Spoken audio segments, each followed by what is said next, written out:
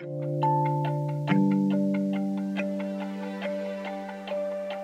my name is Emilia and I'm currently undertaking the Mechanical Engineering Degree Apprenticeship at Flinders University.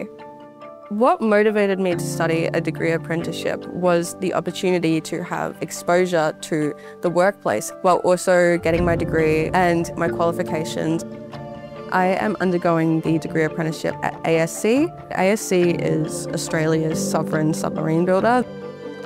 My name is Sebastian and I am studying a degree-based apprenticeship in mechanical engineering with Flinders University.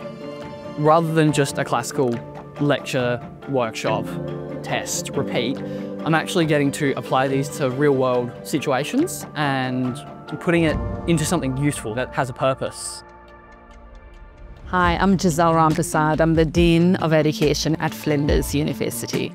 Degree apprenticeships are collaboration between university, business, and government. In the case of the Mechanical Engineering Degree Apprenticeship Program, apprentices complete a Washington Accord accredited degree so they could work anywhere in the world, which is really important.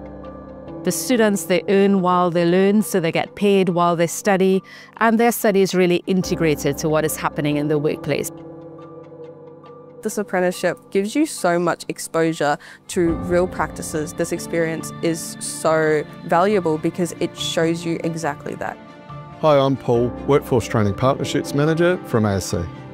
The initial feedback that we're getting from our apprentices is their deep connection to what we do for defence. The purpose behind it is really embedded in the program. Knowing that you're contributing to something so much bigger on a national level, it really does give you a deeper sense of purpose. If you're thinking about doing a degree-based apprenticeship, just do it. It is as good of an opportunity as it gets. It is the most practical way to study.